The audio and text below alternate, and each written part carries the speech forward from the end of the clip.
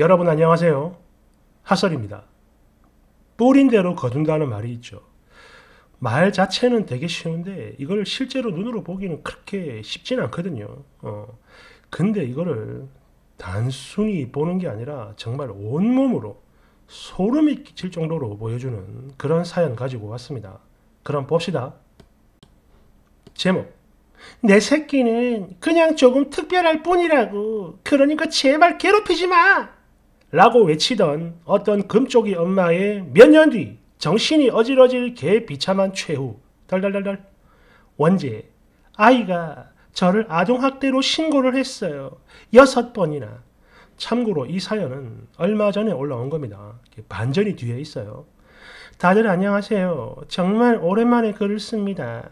저희 아들은 현재 초등학교 4학년이며 ADH에 ADHD에 불안, 충동성이 높고 공격성도 굉장히 심하며 소아 우울증까지 정말 복합적인 상태예요.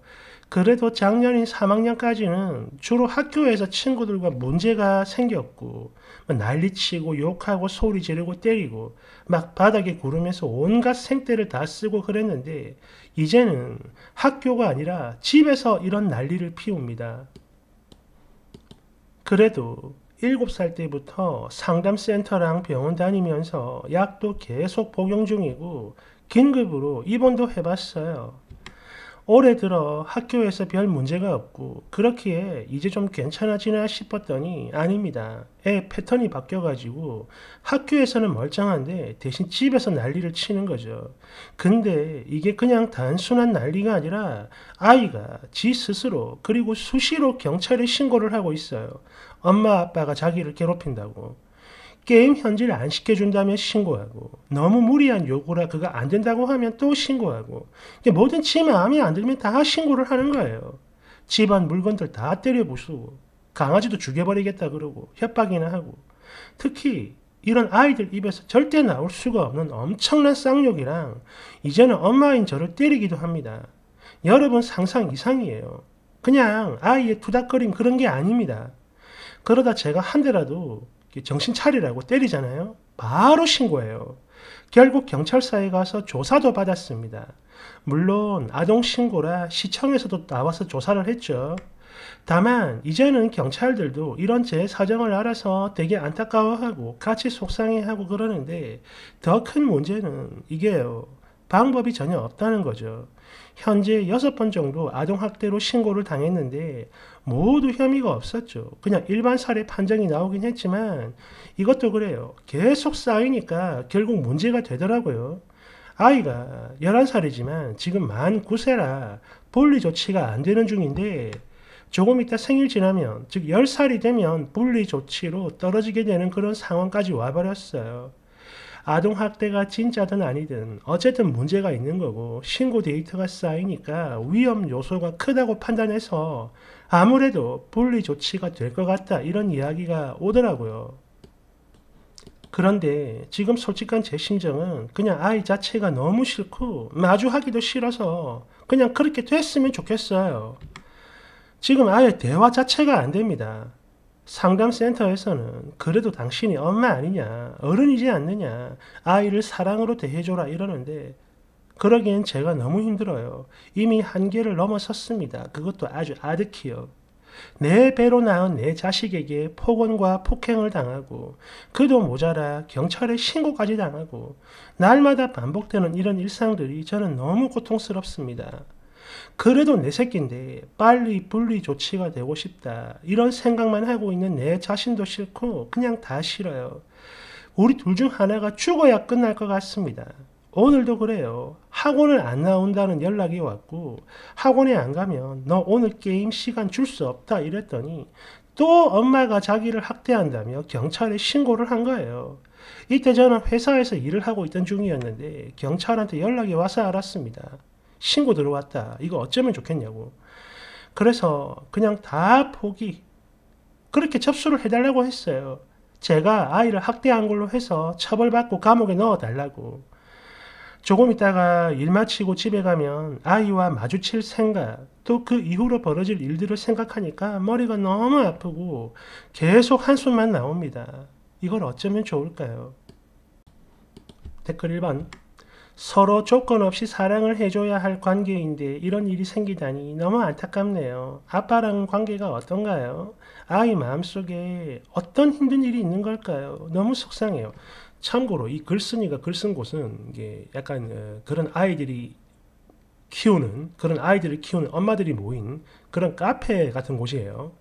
네, 됐으니 감사합니다. 아이 아빠나 할머니 할아버지 등등등 그 누구도 통제를 못하는 아예 안 되는 상황이에요. 애 아빠도 이미 아동학대로 여러 번 신고당해서 저처럼 조사도 받고 계속 그렇게 서로가 힘든 상황입니다. 2번 아이고 왜 그렇게 숙이시나요? 여기서까지 그렇게 죄송할 필요는 없어요. 제가 답답하고 막막합니다. 여기서라도 솔직한 거 다 털어놔 주세요. 글이라도 써서 마음을 표현해야지. 안 그러면 엄마가 더 병납니다. 엄마가 비록 어른이라지만 사람이니까 당연히 힘들죠. 아유 토닥토닥 만 번이고 천 번이고 안고서 괜찮아 그럴 수 있어 이렇게 다독여주고 싶어요. 되겠으니 응원해 주시고 이해해 주셔서 정말 감사합니다. 그냥 너무 답답할 때 제 주변에 이야기할 수도 없고 이런 공간에서라도 이야기할 수 있으니까 적어 본 거예요. 진심으로 공감해 주셔서 정말 감사드립니다. 3번. 일단 집에 CCTV라도 달아서 아이한테 당하는 장면들을 녹화 정리를 해두는 게 좋을 것 같아요. 정말 참담하군요.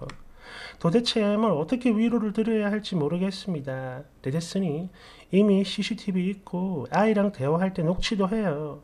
근데 아이가 이제 그걸 아니까 지가 화가 나면 난동을 부리기 전에 제일 먼저 하는 게 CCTV 선을 뽑아버리는 겁니다.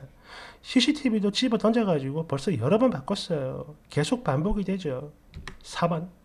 아우 정말 속상하네요. 오죽하면 그냥 그대로 처벌받고 감옥에 갈 수 있게 해달라 이런 말을 했을까. 이거 아무래도 애 아빠가 좀 도와줘야 될 것 같은데 윗분 말씀대로 CCTV 녹화하고 녹화된 걸 아이 스스로 보게 만들면 아마 죄책감이라도 들지 않을까요? 4번 저는 두 번 당했어요. 저는 제가 때린 게 맞고 회초리죠. 학대가 맞습니다.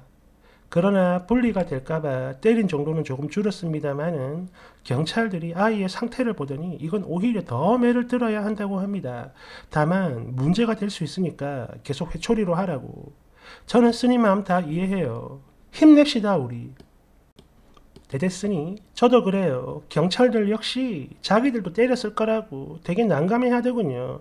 그리고 시청에서 조사 나온 분들도 최대한 뭐 무리가 안 되게 힘을 안 쓰면서 보고를 하겠다 그러고 여하튼 올 때마다 항상 이렇게 제 생각을 먼저 해주니까 그나마 작은 위안이라도 얻고 그럽니다. 5번 아이고 자식한테 신고를 당했다니 너무 속상하시겠어요. 저는 감히 그 마음 헤아리지도 못할 것 같습니다. 그러니 이 카페에서라도 마음껏 풀고 가시길 바래요. 요즘 애들 진짜 영악해가지고 오히려 어른들보다 법이랑 벌, 억압 등등 잘 이용해 먹는 것 같아요. 되됐으니 요새는 아예 애 입에서 촉법이란 말까지 나오고 있어요. 아니 내가 촉법인데면 어쩔 거야. 우리 엄마가 대신 물든지 다 알아서 하겠지. 나 말고 나를 이렇게 키운 엄마한테 따져요. 경찰한테 대놓고 이런 말을 하는데 정말 기도 안 차더라고요. 6번. 저희 애도 그래서 학교에서 신고를 많이 했고 결국 부모들까지 매일 같이 등교를 해야 했어요. 아, 진짜 이거 남의 일 같지가 않습니다. 됐으니 저도 작년까지는 보호자 동반 없이 학교 등교 자체가 불가한 상황이라 저희 친정엄마, 저, 애 아빠 이렇게 세 명이 교대로 돌아가면서 같이 등교하고 복도에서 기다리고 그랬어요. 애가 선생님한테도 심각한 폭력과 폭언을 해서 결국 학교에서 경찰에 신고를 했고 그렇게 돼버린 건데 4학년 올라가면서 괜찮아진 모습을 보여주길래 이제 드디어 된 건가 했더니 그게 아닙니다. 아예 패턴이 360도로 바, 360도면 제자리죠. 180도로 바뀌며 학교에선 멀쩡하고 집에서만 이렇게 난리를 부리더라고요. 6번 난동 부릴 때 온 가족이 아이를 잡고 제압을 해가지고 아예 꼼짝도 못하게 힘으로 눌러버리세요. 어른들이 지보다 훨씬 더 세다는 걸 알게 만들어야 다시는 안 그러는 겁니다. 보니까 초등학교 4학년 되면서 아이가 나아진 게 아니라 학교에서 일으킨 문제로 지가 자꾸 신고를 당하니까 이때까지 지가 쉽게 이용해 먹던 그 공권력이라는 게 더 이상 통하지 안 된다는 걸 알아차린 거예요. 하지만 집에서는 지가 원하는 모든 걸 다 할 수 있으니까 그거를 알고 이용하는 거고 더 마음껏 미쳐 날뛰는 거죠. 여기까지만 보면 애가 너무 악마 같고 엄마가 불쌍하잖아요. 그런데 여기서 반전이 있습니다. 이게 3년 전이죠. 21년에도 글을 올린 거예요. 있으니가. 그때 원제가 뭐냐면 저기요. 우리 애 좀 그만 괴롭히세요. 이거였어요. 정확한 상황이 나오진 않습니다. 부분적인 댓글만 나왔기 때문에 아이가 학교에 다른 아이를 괴롭히고 때리고 그런 겁니다. 그래가지고 또 신고당하고 그런 거예요. 작년, 3년 전 이야기죠. 초등학교 1학년 때. 뭐라 뭐라 막 이제 같은 아줌마들이 위로를 해주니까 네 마음이 정말 무거워요. 우리 아이는 그저 마음이 좀 아픈 아이일 뿐인데 이런 부분이 폭력적인 행동으로 인해 이해를 받지 못하는 게 저는 제일 슬픕니다. 물론 우리 아이들이 1차적인 문제인 건 알겠지만 일방적인 피해자 가해자는 없는 거예요. 너무 참지만은 마세요. 억울하다 생각이 드는 부분도 이야기하고 저희 아이 등교할 때마다 아무 문제가 없는 상황인데 뒤에서 욕하는 아이들도 있고 다 들리게 왕따를 주도하는 아이도 있고 우리 아이가 문제니까 그런 게 당연한 건 아니라고 생각이 들거든요. 싫으면 그냥 모르는 척하고 지나쳐도 되는 건데 꼭 상처가 되게 행동하고 많은 부모님들이 내 아이는 문제가 없는 줄 아세요. 유독 우리의 아이들이 더 눈에 띄는 것일 뿐인데 잘못도 더 도드라지는 법이고 그걸 몰라주는 게 너무 속상하고 힘들어요. 우리 힘냅시다. 되겠으니 그렇죠. 저희 아이요 잠들기 전이랑 또 교문 앞에서 날마다 난 할 수 있어 난 할 수 있어 이런 걸 다짐하며 등교해요. 근데 우리 아이가 정말 서럽게 울면서 내 마음을 선생님도 친구들도 다 몰라주고 나는 어떻게 할지 모르겠다고 이러더라고요. 정말 너무 마음 아프고 가슴이 찢겨져 나가는데 다른 사람들에게 이건 정말 이해받기 어려운 부분인가 봐요. 왜 이걸 몰라주는 걸까요? 괴롭히지 마 님 아이가 불안하고 예민한 반응하는 것도 맞겠지만 그 상대방 아이도 어지간한 것 같네요. 똑같은 건으로 계속 부딪혔다면 그 아이도 쓰니 아이랑 서로 말을 섞지 않도록 단도리를 해야죠. 피해자한테 피해라 이거죠. 따라하거나 계속 곁에 서 있어서 신경 쓰이게 한다거나 하는 건 피할 수 있는 문제 같은데요. 님 아이가 그 아이를 찾아가서 계속 시비를 건다면 몰라도 말이죠. 사과는 해야겠지만 그쪽도 노력할 부분이 있다는 걸 정확히 표현해 주세요. 힘을 주셔서 감사합니다. 안 그래도 이 부분으로 오늘 담임 선생님한테 좀 진지하게 말씀을 드리려고 해요. 근데 얘기를 듣다 보면 이거는요, 제가 봤을 때 피해자, 가해자 이런 문제와는 좀 다른 것 같거든요. 근데 선생님들 이야기할 때 보면 그냥 저희 아이가 가해자다 이런 식으로 이야기를 하더라고요. 마음 아프게. 그리고 이건 모든 걸 본 사람들 다 커뮤니티 댓글입니다. 댓글 1번. 그렇지. 이게 언뜻 보기엔 엄마가 불쌍해 보이지만 결국 다 자업자득이야. 몇 년 전에 쓴걸 보면 내용이 있거든요. 유치원 때 이미 아이한테 문제가 있다 치료받아라 이런 말을 했는데 초등학교 저학년도 지적 많이 받았대요. 부부가 쌍으로 선생이 예민하다며 개 난리치고 우리 아들은 그냥 남들보다 특별한 장난꾸러기일 뿐인데 왜 그러냐 왜 괴롭히냐 규칙 같은 건 이거보다 더 어릴 때 잘 가르쳐야 하는 건데 그걸 안 가르친 거지. 그러니까 이게 바로 아니 개 뺨이 우리 아이의 소, 우리 아이 손에 닿은 거라고 이런 거의 미래라는 겁니다. 자는 자기 애를 깨웠다고 아동학대로 신고했대요. 이거는 뭔지 모르겠습니다. 있으니까 그랬다는 건지. 그런 기억이 있으니까 애도 써먹는 거지. 맞네요. 즉 자업자득이야. 근데 뭐 이래놓고 지금 누굴 탓하고 있는 거야? 2번 3년 전 대댓글 단 거 보니까 불쌍했던 마음 싹 사라져버린다. 야 학교에서 다른 애들 괴롭히고 교사를 괴롭힐 땐 이해를 해달라. 어 우리 애가 좀 그렇다 나 몰라라 하다가 그런 괴롭힘이 이제 본인한테 향하니까 힘들다고 징징거리는 거야 지금? 3번 다른 애들 패고 그럴 땐 그냥 외향적이라 그런 건데 왜 이해를 못하냐면 난리를 치다가 이제 지가 참 맞으니까 정신이 번쩍 드는 거죠. 뭐야 이거? 그러니까 지가 이렇게 키운 거구만? 어쩌라고? 그 금쪽이 프로그램 가끔 뭐 지나가다가 살짝 보일 때 보면 엄마를 아이가 엄마를 때리는데 단순 아이들이 자기 성질 난다고 막 토닥토닥 하는 게 아니라 진짜 폭행을 하더군요. 그런 수준인 것 같습니다. 이거는 저는 그리 생각해요. 뭐 보통 보면 무조건 부모 탓이다 하는데 물론 저도 부모 탓인 건 맞다고 봅니다. 근데 이게 단순히 그냥 무지성으로 부모 탓이다 이게 아니라 그 좀 더 디테일한 결을 봐야 된다고 생각을 해요. 분명히 사람마다 아이마다 타고난 기질이 다르거든.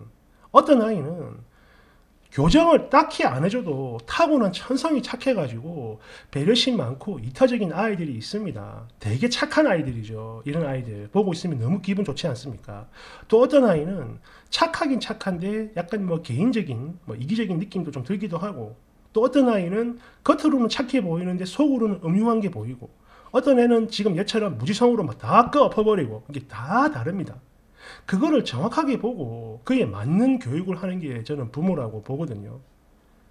무조건 내 새끼가 소중해. 어쩌라고 우쭈쭈 해버리면 그냥 이런 꼴 나는 겁니다. 운이 좋으면 아이가 천성이 착하게 태어난 아이면 뭐 안 해도 되겠죠. 근데 다 그런 게 아니라는 거야. 어. 마치 우리 애가 머리는 똑똑한데 공부를 잘 안 한다. 그래서 그런 거다. 아닙니다. 머리가 나쁜 거예요. 보통은 그래.